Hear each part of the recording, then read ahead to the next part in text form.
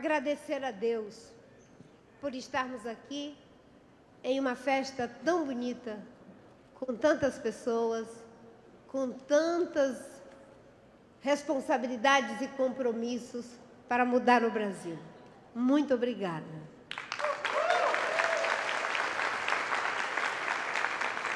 É um privilégio poder falar para cada um de vocês, de estar aqui com cada um de vocês, nesse momento em que nós da Rede Sustentabilidade celebramos o encontro entre a rede e o Partido Verde. Celebramos o encontro das candidaturas à presidência da República de Eduardo e Marina, ou de Marina e Eduardo. Nós vamos e estamos aqui para fazer algo que o Brasil precisa. E eu quero começar fazendo um agradecimento especial à minha família. Meu marido, o Fábio, não pôde vir, minha sogra tem 82 anos, está muito doente, teve um problema de saúde ontem à noite e ele ficou cuidando dela. Ele não está aqui. Mas a minha filha acabou de me reportar que eles estão assistindo pela internet e de que a dona Neide cantou o hino nacional todinho. E isso para nós é uma vitória, porque ela está com Alzheimer. É uma grande vitória esses lampejos de consciência. Obrigada, dona Neide, por nos seus 82 anos puxar pela sua memória para cantar o Brasil. Fico feliz de ter aqui nesse dispositivo meus filhos, minha primogênita, Shalom, seu marido, Felipe, minha filha Maiara não pôde vir porque hoje é dia de trabalho duro, ela é jornalista, como vocês que estão aí acompanhando. Meu filho Danilo, sua namorada Carla, minha filha Moara, que estão aqui, meu sobrinho Eudes, que representa a família do Acre, minhas irmãs, sobrinhos que não podem estar aqui. Muito obrigada pelo sustento, pelo suporte que vocês me dão no dia a dia. Eu agradeço de um modo especial aos dirigentes, militantes, simpatizantes, voluntários da Rede Sustentabilidade, os que estão aqui e os que não podem estar conosco nesse momento. E quero cumprimentar a todos eles, nas pessoas dos nossos porta-vozes, Pedro Ivo e de nossa porta-voz Laís e de nossos coordenadores de campanha, que agora serão é, fortalecidos, mais encorpados com aqueles que virão pelo Partido Verde, representando a coordenação conjunta da nossa campanha, Andréia Gouveia e Lourenço Bustani. Agradeço igualmente a todos os dirigentes, militantes, simpatizantes do Partido Verde, a quem cumprimento a todos os que estão aqui, os que estão nos acompanhando pela internet, nas pessoas do presidente nacional do Partido Verde, Luiz Pena, do candidato a vice-governador do Distrito Federal junto com Rodrigo Hollenberg, Eduardo Brandão, e de meu querido amigo de luta e de paz, que aceitou o desafio de caminhar comigo nessa jornada, ombro a ombro, lado a lado, Eduardo Jorge. Muito obrigada pela disposição de vocês em ajudarem a fazer a transição para o Brasil que tanto sonhamos e que tanto, e que tanto queremos. Os que acompanham a luta socioambiental no Brasil, a luta dos verdes, sabem que o que nós temos aqui entre eu e o Eduardo é uma nova forma de caminhar juntos. Porque nós estamos juntos ao longo da vida, nas causas, nas posturas e em muitas de nossas atitudes e ideias. Ele lutando em favor do meio ambiente, eu também. Da saúde de qualidade, eu também. Da justiça social, eu também. Na luta para que o desenvolvimento sustentável pudesse acontecer num dos espaços mais difíceis que são nas cidades. Enquanto eu venho com a minha trajetória da luta para a proteção do desenvolvimento sustentável nas florestas. E os jornalistas sempre me perguntavam se qual era o perfil do vice. Eu sempre dizia um perfil complementar.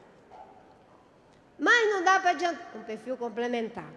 E sempre me orgulhava muito do nosso ouro da casa, Bandeira, Miro Teixeira, nosso querido Ricardo Paz de Barros, o Marcos Palmeira.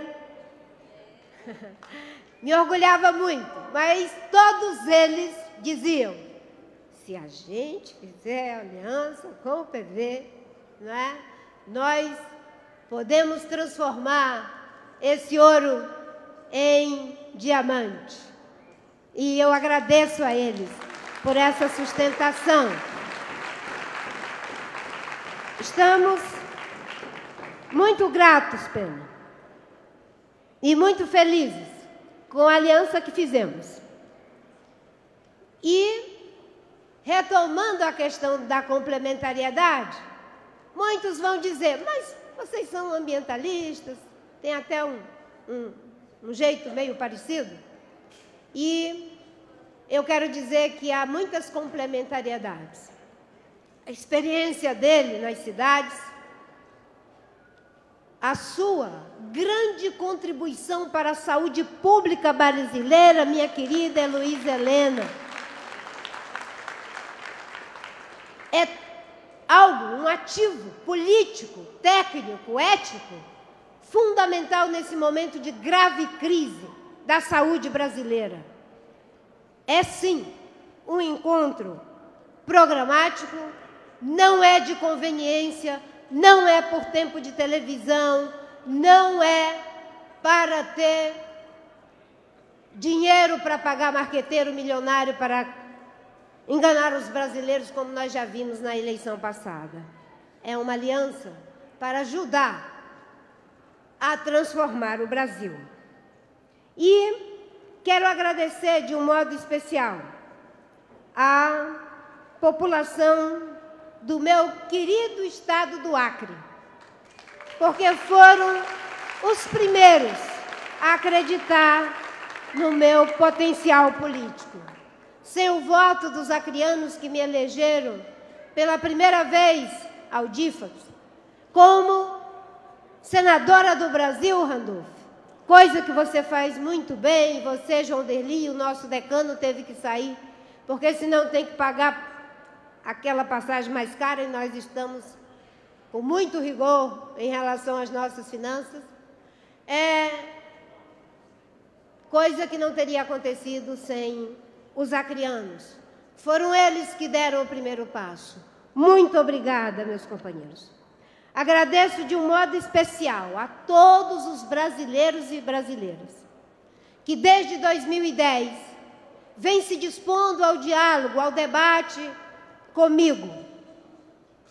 2010, 2014 e continuam dispostos a esse diálogo, independente de votarem em mim ou não. Afinal de contas, eu desde 2010 tenho reivindicado que a gente deve fazer o debate, não é o embate. Que a gente deve ter uma visão de que pessoas boas existem em todos os partidos, assim como pessoas ruins também. Uns têm mais, outros têm menos. E por isso, não tenho dúvida de que nesse momento, como disse Eduardo Jorge, nós somos o projeto mais preparado. E a minha candidatura e a sua é a que está em melhores condições de unir o Brasil. Porque não temos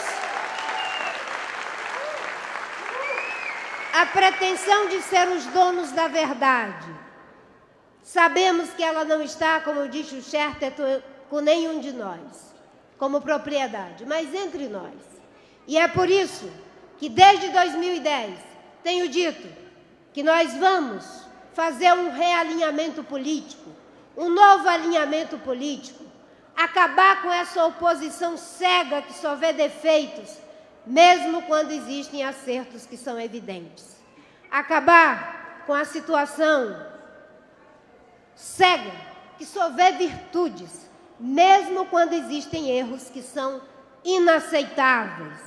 Não queremos abolir a inteligência, não queremos abolir o ato de pensar, não queremos abolir da política o ato de ter um posicionamento firme e independente quando é necessário, mesmo sendo do mesmo partido, mesmo sendo do mesmo governo. É assim que a gente não leva o país para essa situação de quase um país cindido, que temos a responsabilidade de não deixar que isso aconteça, como vemos a triste realidade que acontece hoje na Venezuela. Meus amigos, antes de falar de algumas questões, eu queria revisitar junto com vocês um pouco dessa trajetória. Eu fiquei, Eduardo, claro que emocionada quando você disse que eu sou o programa. E eu entendi a generosidade metafórica de suas palavras. Mas nós sabemos que é fundamental o programa. E a rede, nesse momento, vai tomar tudo o que já havíamos produzido com movimentos, com empresários, com especialistas, com ativistas, com aqueles que estavam dispostos a nos ajudar e receber as contribuições do Partido Verde. Portanto, tenham um pouquinho de paciência, porque de fato nossa aliança é programática, não é pragmática. Mas antes de entrar em algumas ideias, eu queria só revisitar um pouco dessa trajetória de vida, que também está como parte desse programa. Não o programa, mas talvez a sua assinatura. E você também, Eduardo, é essa assinatura com a sua vida e com a sua trajetória. Hoje tenho 60 anos e eu sei que vocês são pessoas muito educadas, mas parece que esqueceram de dizer que não parece. Eu sempre brinco com isso, não é? Tenho 60 anos, quatro filhos, sou casada professora de história, profissão que tenho muito orgulho de, de tê-la. Me especializei em psicopedagogia e teoria psicanalítica e fui pelo caminho da política, mas nunca me afastei de manter os meus estudos, com, sobretudo aquilo que depois que é a psicanálise e a psicopedagogia. Sou uma pessoa também movida à fé. A fé que tem os fundamentos que foi tão bem colocados aqui pelo nosso querido pastor Levi, o primeiro a abrir essa convenção com um discurso. Fiquei muito feliz de ouvir a Célia, de ouvir os nossos parlamentares, de ouvir a Joênia, de ouvir meu querido amigo Eduardo Janete, que me ajuda desde 2010, mostrando que a sociedade tem um papel relevante aqui. Mas, como eu disse, sou movida assim à fé e à determinação. A fé para, para remover as montanhas que eu não tenho como escalar. E não foram muitas, e não são muitas, na minha vida e na vida de cada um, minha querida pastora Eliana. É, mas também a determinação para não ter que transferir para a fé aquelas montanhas que a gente precisa escalar, sob pena de estar pecando contra Deus, ou de estar tentando a Deus. Tem coisas que a gente precisa fazer, trabalhar, se comprometer. E isso é escalar as montanhas, é fé e determinação. Sou uma pessoa apaixonada pela palavra. Me apaixonei por ela com minha avó, que gostava de literatura de cordel. E como uma pessoa apaixonada pela palavra, sei que o diálogo é a melhor forma de evitar com que esta mesma palavra não seja ultrajada voltando vazia. Porque quando você fala unilateralmente, a sua palavra volta vazia. Mas quando você se dispõe a interagir com o outro, se colocar no lugar do outro, principalmente esse outro que hoje está com justa razão revoltado com tudo que tem acontecido na política, quando nos dispomos ao diálogo, nós podemos fazer com que a palavra cumpra com seu papel transformador no convencimento para a ação. Eu venho de um Brasil profundo, lá da Amazônia, do meu estado do Acre. Lá aprendi os propósitos de viver e os compromissos que trago até hoje. Tive meu caráter, minha postura e atitude política temperados na forja de pessoas que me são muito importantes. E é isso que eu quero compartilhar um pouco com vocês. Meu pai, o filme me ajudou bastante, não preciso repetir. Vocês viram.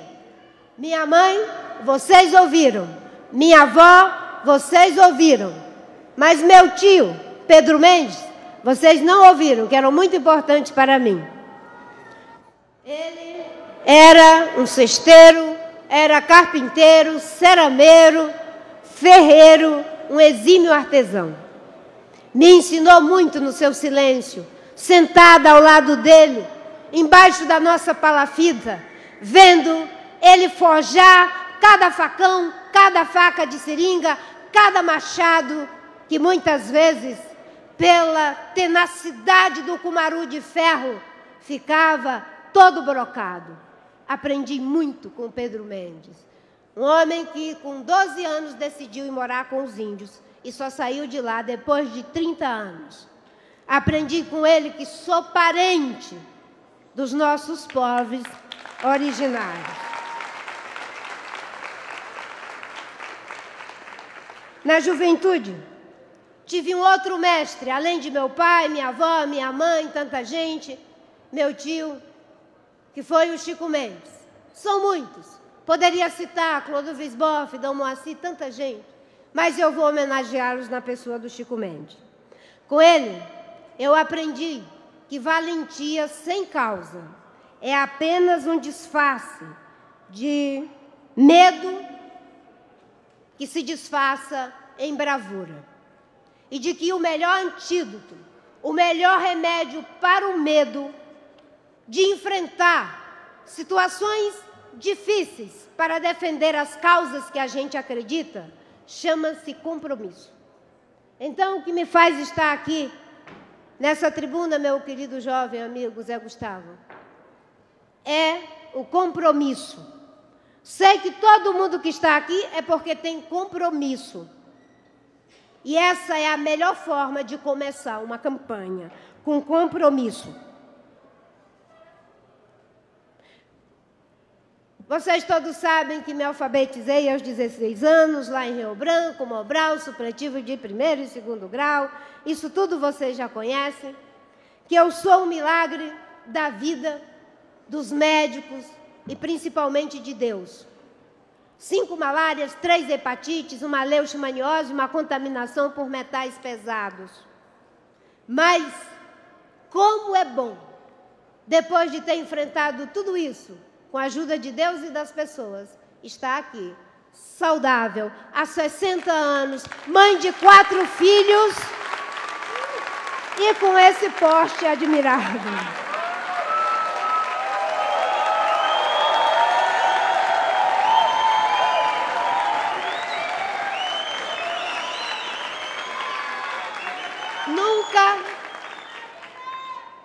nunca me esqueço do primeiro dia em que fui na sala de aula, em que a minha professora, infelizmente, em função de um ensino, um sistema perverso de educação, por não pagar corretamente, por não treinar corretamente, por não dar formação continuada para os seus professores, me recebeu com uma pedagogia estranha minha querida Célia. Ela me chamou e eu não sabia que tinha que dizer presente eu fui na mesa dela. E ela disse: O que, que você está fazendo aqui? Eu disse: A senhora me chamou. E ela disse: Quando a gente chama, a gente responde presente, não vem na mesa, você é abestada. Eu a compreendo. E ela me deu os rudimentos que me fazem estar aqui agora. Naquele momento eu tive muita vergonha. Mas nesse momento, como professora, como mulher, como mãe, sabendo que ela não tinha culpa de não ter a pedagogia, de não ter os conhecimentos que todo professor deve ter, ela foi a base, a pequena fresta para que eu tivesse aqui orgulhosa de ser professora de História pela Universidade Federal do Acre, de ser formada em Teoria Psicanalítica pela UNB, em Psicopedagogia pelo APSIBA da Argentina e em Psicopedagogia pela Universidade Católica de Brasília. Vejam o que faz uma pequena fresta da educação na vida de uma pessoa. Quanto mais Quanto mais quando a educação for uma porta e não uma fresta. Quanto mais quando a educação de qualidade for para todos e não para alguns. Coisa que hoje, infelizmente, não temos. E compromisso que assumimos com recursos com propostas para melhorar a qualidade da educação, mantendo o que já existe, com a humildade de receber dos movimentos, inclusive de um que está contribuindo com todos os candidatos, o Todos pela Educação, propostas para que ninguém mais tenha que passar por frestas, mas por portas. Nosso país é um país que se orgulha das exceções. Nós nos orgulhamos muito das nossas exceções. Quem não se orgulha dessa biografia agreste? Quem não se orgulha de pessoas como o Betinho? Quem não se orgulha de Joênia? Quem não se orgulha de Pelé? Quem não se orgulha de João Derli, de tanta gente? A gente se orgulha das exceções. Mas nós temos que construir no presente, como disse o Eduardo, com os pés no chão, as condições para que também nos orgulhemos das regras. Porque no dia que nos orgulharmos das regras, eu não precisarei mais ser uma exceção, que mesmo tendo chorado de vergonha, no outro dia teve coragem de voltar para a escola. Porque todos serão recebidos com a pedagogia correta, com o acolhimento correto, independente da cor, independente da orientação sexual, independente da condição econômica, independente do credo.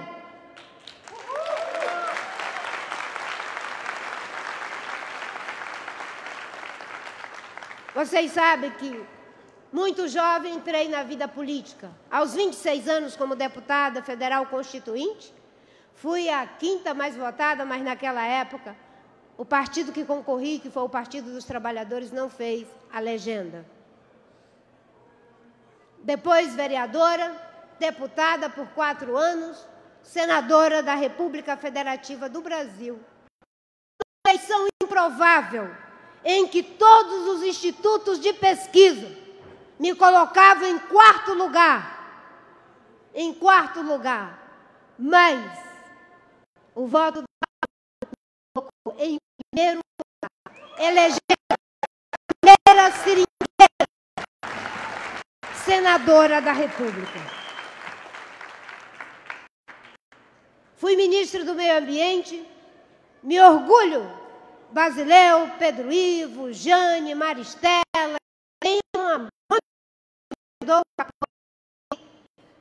e os que eu não estou citando, Muriel, e meu Deus, abri uma janela aqui. Era muita gente. Certo? Me orgulho daquele nosso trabalho. Um trabalho em que não inventamos a roda, Marcos Palmeira. Transformamos em políticas públicas. Nós conseguimos dar escala às boas ideias que vinham da sociedade, Marcos Santilli. E você foi um dos que nos ajudou trazendo boas ideias e boas críticas, como é dos ambientalistas. Nós não somos daqueles que aderem por aderir. Nos orgulhamos. Fizemos um plano de combate ao desmatamento para pegar um exemplo. Numa situação de crescimento econômico, elevação de preço de commodity, Desmatamento que chegou a 27 mil quilômetros quadrados. O mais alto tinha sido com Fernando Henrique, 29 mil quilômetros quadrados. Quando fizemos o plano, poucos acreditavam que daria su sucesso, mas conseguimos com ele reduzir desmatamento em mais de 80% por 10 anos. Criamos 24 milhões de hectares de unidades de conservação Trabalhamos para aprovar os projetos de licenciamento mais complexo, em parceria com vários órgãos do governo e dos governos estaduais. Nossa gestão foi uma gestão altamente premiada dentro e fora do Brasil. Isso é não ter vaidade de receber as boas contribuições da sociedade, as boas contribuições de todos os partidos, não importa, mesmo que seja um partido divergente. Quantas vezes, mesmo quando Fábio Feldman ainda era do PSDB, Maristela sabe, em que o Zequinha não era ainda muito próximo, porque eu ainda tinha um certo distanciamento, mas vendo que ele de fato virou um ambientalista. Nunca me privei de ligar para eles para pedir ajuda para os projetos que acreditava. Eu poderia continuar falando de todas essas coisas, mas eu vou chegar um pouco já nesse final. Fui candidata duas vezes, 2010 uma campanha linda, maravilhosa. Quando terminou a campanha, 19 milhões de votos, muita gente achava que eu ia ter traço, PB, você que gosta de números. Traço. Imagino que meu amigo Eduardo Viola, que tanto me ajuda, poderia dizer: Meu Deus, se a Marina tiver pouco voto, vai ser uma desmoralização internacional. E de repente todos nós fomos tomados de profunda alegria com aqueles 19 milhões. E eu me lembro que o meu sorriso na foto era tão largo que o pessoal da imprensa dizia: senadora, a senhora está mais alegre do que os que foram para o segundo turno. Em 2014, uma campanha difícil, perdemos o Eduardo Campos, uma tragédia e não tem como assumir o lugar de alguém que perdeu a sua vida, deixou sua família, sua querida Renata, seu, seu partido, se empoderando nesse lugar, sorrindo, como se fosse uma oportunidade de agora ficar no lugar que gostaria de estar. Eu queria ter sido candidata pela rede se não tivessem caçado o nosso registro. Mas jamais, às custas da vida de uma pessoa cheia de vida, cheia de sonhos. Foi muito difícil aquela campanha. E como se não bastasse, não estava concorrendo para as mesmas coisas com meus adversários. Eu concorri, André,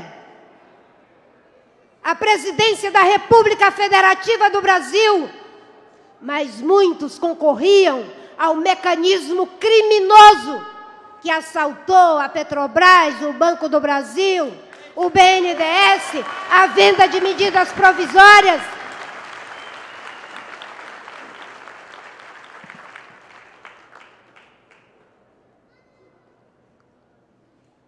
Não tinha como ser diferente.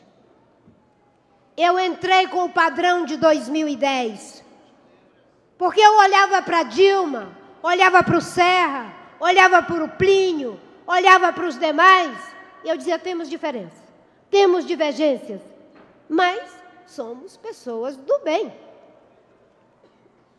E ia cumprimentar todo mundo nos camarotes, camarim deles, nos, nos debates. Em 2014 foi uma guerra sem parâmetros, sem ética. Até a guerra tem ética. Por isso, a Marina que chega aqui traz essa trajetória da menina do seringal, que de tanto receber generosidades, mesmo quando elas vinham travestidas de alguma grosseria, entra com o coração tranquilo. Com o coração tranquilo. Querendo o melhor para o Brasil com o mesmo espírito de que pessoas boas existem no PT, no PSDB, no PMDB, em todos os partidos. Com o mesmo espírito de que se ganhar, vamos, eu e Eduardo, governar com os melhores, mas não só dos partidos. Os melhores também da academia, os melhores do empresariado, os melhores dos trabalhadores, os melhores dos movimentos sociais. Porque não podemos substituir 200 milhões de brasileiros por apenas 35 partidos. Não é inteligente. Os partidos podem sim ajudar e vão ajudar. Aí muita gente me diz: mas como? Com esse Congresso, com dois deputados e um senador, ainda que valam por muitos. Eu digo: não me perguntem como é que a gente governa com apenas dois senadores, um senador? Perguntem como é que não se governa. Como a Dilma não governou, como o Temer não governa, com mais de 300 deputados.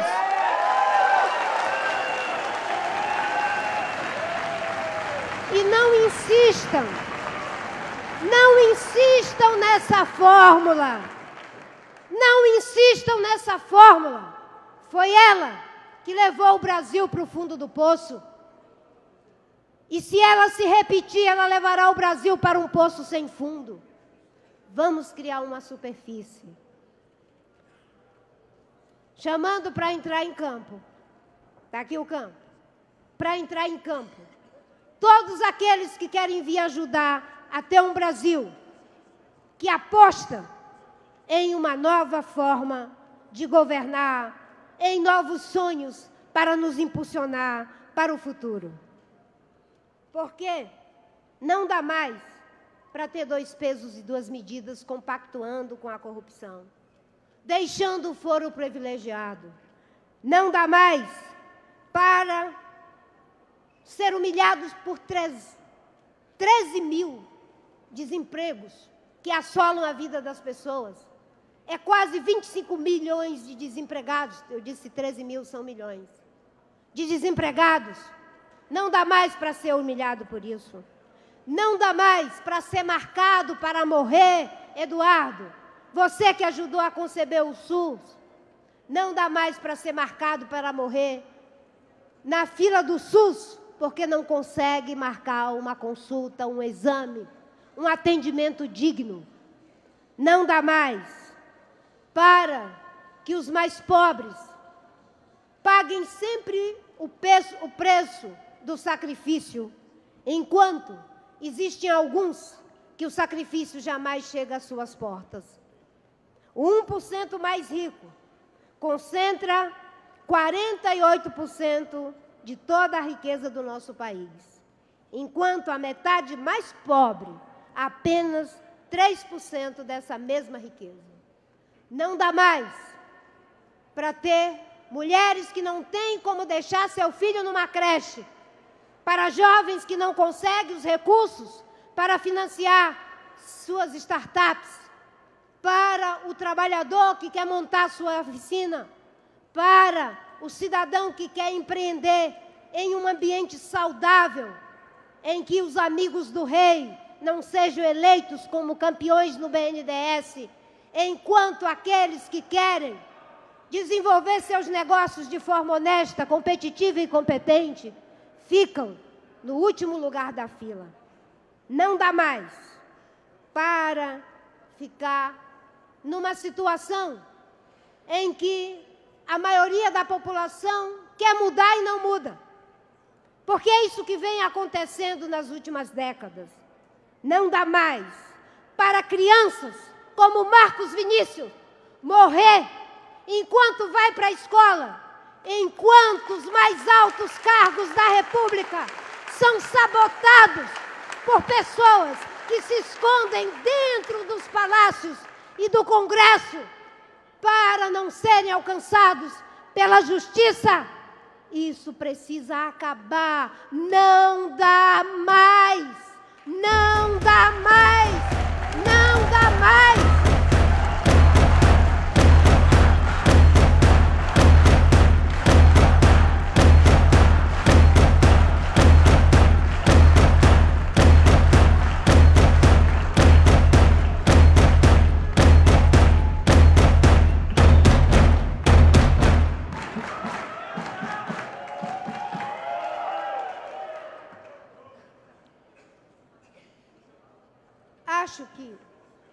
Pesquisas que são feitas pelos especialistas, o tempo todo, elas nos trazem uma informação que é preocupante. Uma grande quantidade de brasileiros e brasileiras não decidiram se vão votar, se vão anular o voto, o que vão fazer. A maior parte são mulheres. Mulheres que ficam condenadas na fila do SUS. O feminicídio é algo que mancha ética, política, culturalmente o nosso país e, sobretudo, institucionalmente. Ontem ficamos todos chocados com aquela situação que vimos nos meios de televisão. A indignação é legítima. E se não formos capazes de dialogar com ela, de acolhê-la, as pessoas vão, de alguma forma, manifestá-la em caminhos que mais são descaminhos do que alguma saída. Temos que saber acolher essa indignação. E é por isso que focamos que a mudança precisa primeiro acontecer na nossa postura política. É a política e a má política, não a boa política, é a má política que tem sabotado o futuro do Brasil. Nós éramos a oitava economia. Nós éramos o país que tinha tirado 40 milhões da pobreza. Nós éramos o país que tinha pleno emprego. Nós éramos o país que se orgulhava de ter feito o grande feito de conquistar a nossa democracia, para com ela fazermos coisas boas. Mas existiram aqueles que, em desrespeito a ela, se perderam em projeto de poder pelo poder e agora jogaram o nosso povo para essa situação de legítima indignação. E é por isso que a Rede e o Partido Verde vão trabalhar um programa. Já andamos muito, mas vamos integrar as contribuições do Partido Verde e um programa que trate do que de fato interessa para a nossa sociedade. O país precisa voltar a crescer, precisa ter investimento. Para ter investimento, a gente tem que enfrentar o problema da falta de credibilidade.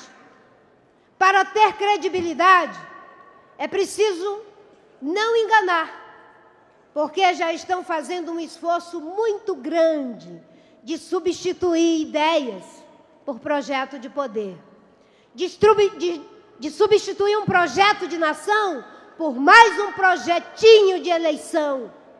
Já estão fazendo de tudo para que o Brasil continue do mesmo jeito. Nós queremos trabalhar um programa de governo em que o crescimento econômico é resultado de um dever de casa, que tem a ver com o controle das contas públicas, que tem a ver com encarar as reformas, principalmente a reforma da Previdência, mas sem que seja uma reforma draconiana, sem ouvir a sociedade, ouvindo apenas uma parte. Encarar o problema da reforma tributária, e é isso que nós vamos fazer para que haja descentralização, para que não se tenha regressividade em que os mais pobres não tenham que pagar mais, para que se tenha uma reforma tributária em que prefeitos e governadores não tenham que viver de mesadas do governo federal. Vamos ter uma reforma política que acaba com a reeleição, que cria as candidaturas independentes, que estabelece apenas dois mandatos para o legislativo. Vamos rever os pontos da, draconianos da reforma trabalhista. Uma mulher grávida não pode trabalhar em situação de risco. Isso não é modernizar as relações de trabalho, isso é voltar a relações pré-modernas. Nós vamos corrigir as atrocidades, mas são necessárias reformas da Previdência, reforma trabalhista, reforma tributária e, na base de todas, a reforma política. Dialogando com a sociedade, dialogando com o Congresso, e não tem outro meio. A palavra é dialogando. Vamos acabar com a reeleição? Mandato de cinco anos a partir de 2022. Eu terei apenas quatro anos.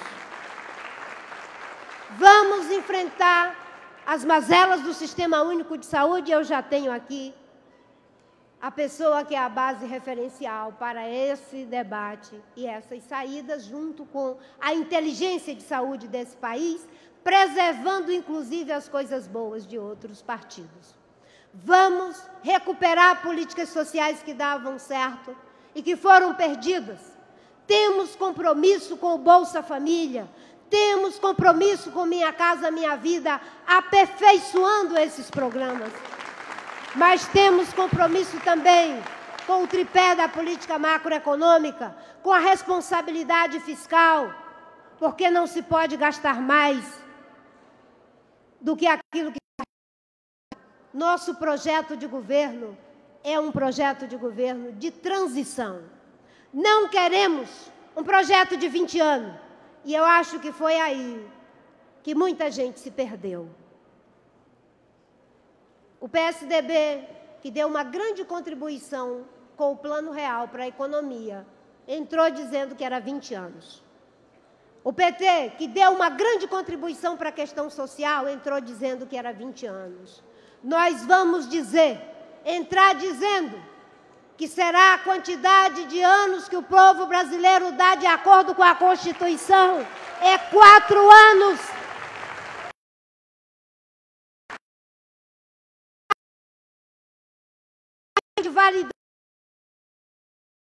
sem que seja pelo voto da população, fazendo acordos espúrios por tempo de televisão e por recursos milionários do fundo partidário.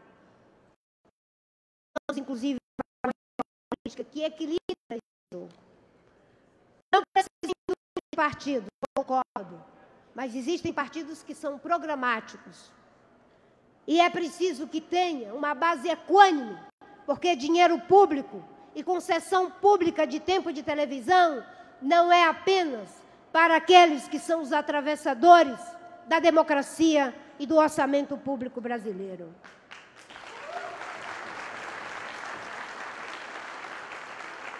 Eu quero terminar dizendo que logo, logo estaremos colocando as nossas diretrizes programáticas no registro da minha candidatura e do Eduardo. Será uma grande felicidade essa assinatura programática e altamente coerente. Temos diferenças?